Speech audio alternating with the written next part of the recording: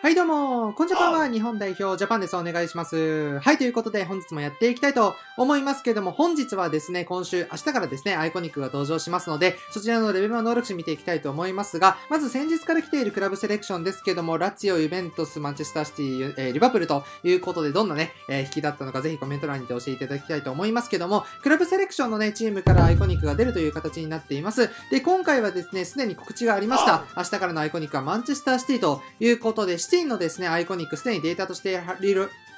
データとして入っている選手がこちらの2人ですね、ギャレス・バリーとシェイ・ギブンということで、ここにですね、まあ明日、えー、新たな追加選手があるかなと。ただですね、明日アップデートファイルがね、えー、入るという情報も、えー、全く来ていませんので、個人的にシティからはこの2選手だけなのかなという予想ですかね。まあですので、えー、ぜひ、レベマ能力値、そして比較もやっていきたいと思いますので、そちらの模様をぜひ、えー、これから見ていきましょう。どうぞまずはギャレス・バリーということで、バリーに関してはですね、DMF プレイスタイルはアンカーの選手となっています。通常のレジェンドもね、すでに登場していますので、そちらと比較しながら見ていきたいと思いますけども、今回ね、スキルにヘッダーが追加となったというところもありまして、ヘディングだったりジャンプ、そしてオフェンセンスがしっかり上がったなというところですかね、決定力も7つ上がったという形になっていますが、ただですね、DMF アンカーの位置で置くと、ディフェンス系の能力者は若干ネックの部分ですね、83、85、89という形になっていますので、DMF で置くよりかは個人的に CM DMF の1年安定なのかなという印象ですかね。ただスキル、ヘッダーが追加というところだったり、ワンパーだったり、バックスピンの部分も持ってますし、マンマーク、インターセプト、アクロバティック、クリア、まあ、ここら辺の3つのスキルもかなりありがたいですね。で、2つずつスキルが空いていますので、ここにね、えー、1つスキル追加できるというところもかなり大きい部分なんじゃないかなと思いますが、マンチェスターシティのユニフォームにした場合は結構能力値上がってくるので、この選手を使うにはシティのユニフォームを着させることが必須になってくるんじゃないかなと、個人的にはそういう印象ですね。で、先日から登場しているジーベルト・シューバと比較していきたいと思いますが、ご覧の通りですね、やはり DMF アンカーの選手選手の中ではディフェンス系の能力値がかなりネックな部分かなと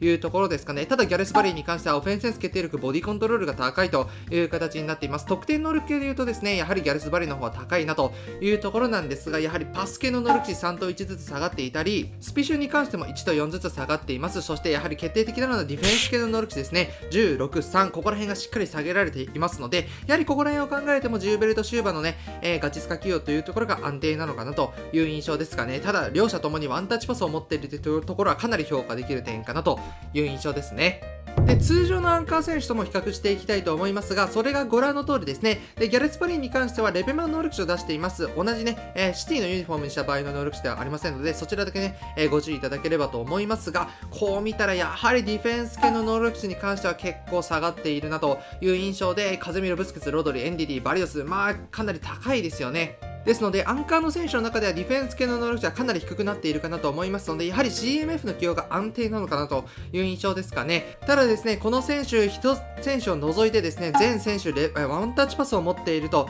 いう形になっています。まあ、カゼミロだけね、ワンパ持っていないんですけども、このワンパ持ちの DMF かなりね、重宝するんじゃないかなというところで、ここにプラススルーパスを持っているのがロドリとエンディディということで、この2選手めちゃくちゃ有能ですよね。ですので、まあ、ロドリ、エンディディに関してはめちゃくちゃ使用感良くなっているかなと思います。し、ロドリに関してはパスケの能力者93、91、ブスケツの次に高いという形になっていますので、やはりここら辺はですね、ロドリめちゃくちゃ使用感のいい選手になってるかなと思います。あとはクラブセレクションで本当に楽しみな選手ですね。で、個人的に注目しているのがやはりカゼミロですね。カゼミロに関してはディフェンス系の能力者一番高いという形になっていまして、ただワンパもスルーパスも持っていないんですけども、一つ追加スキルができますので、ここにですね、ワンパなりスルーパスなり追加できたら最強クラスの DMF アンカーの選手になっているかなと思いますので、個人的にギャレスバリを使うよりかは、この、えー、右のですね、5選手の方がいいんじゃないかなという印象ですね。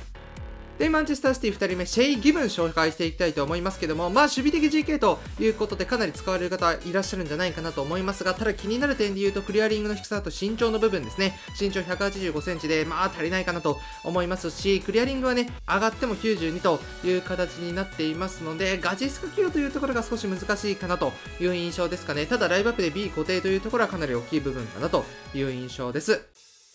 はい、ということで本日はですね、マンチェスターシティのこちらの2選手、そして比較やっていきましたけども、いかがでしたでしょうか？まあ明日はですね、特にアップデートファイルが追加というところの、え、情報はありませんので、おそらくここに現役のアイコニックだったり、過去の、え、さらにですね、アイコニック選手が出るという可能性は個人的に低いかなと思いますので、まあこのギャレス・バリー、シェイ・ギブンの2人に、え、搭載かなと思いますので、まあどうですかね、え、絶対に引くべきアイコニックではないかなと思いますので、来週以降のアイコニックに、えー、ぜひですね、コイン残しておくべきかなと個人的にはそういう印象です。はい、ということで本日はここら辺で終了していきたいと思います。最後にチャンネル登録と高評価ぜひよろしくお願いします。ではまた次の動画もぜひご覧ください。